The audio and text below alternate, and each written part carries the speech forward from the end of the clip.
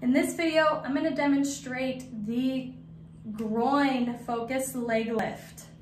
You're gonna need a flat surface to lay on and whatever supported supportive props to keep your spine in neutral.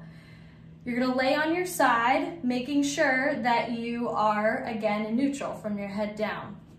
The purpose of this exercise is to promote healing in the adductors. So the top part of the adductors are put under a lot of pulling and stretching when you're in delivery.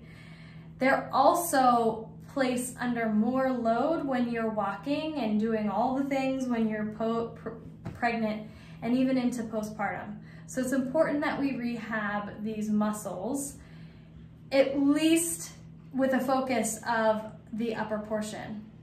So lay on your side, your top leg is going to come like this or like this, making sure your spine stays in neutral. If you have to, put a pillow here or you can put your foot flat, but know that you're not allowed to push down with this leg. It's just kind of hanging there. Um, and as you position yourself, make sure whatever position doesn't bring you out of neutral. Then your bottom leg is in line with your body so that you're in a straight line. Your hip is in neutral rotation, so if it's turned out, make sure you get it back in neutral. And then from there, gently apply a deep core brace, pelvic floor, gentle belly button, bottom leg lifts up as high as you can, and then control it down. So I'm gonna adjust the camera a little bit so you can see this. My hip wants to naturally turn out, so I'm gonna bring it back in neutral Make sure I'm leaning forward to get into a neutral spine position. I'm lifting up, feel that really in here, and then I control down. No movement in my spine, no pushing in my hip.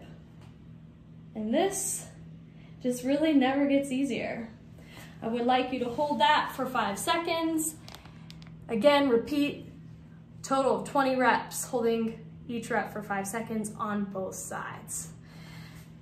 Take note of the difference between your preferred strategy versus the deep core strategy. Target is the groin again and uh, enjoy it. These ones never get easier. It just always feels like work.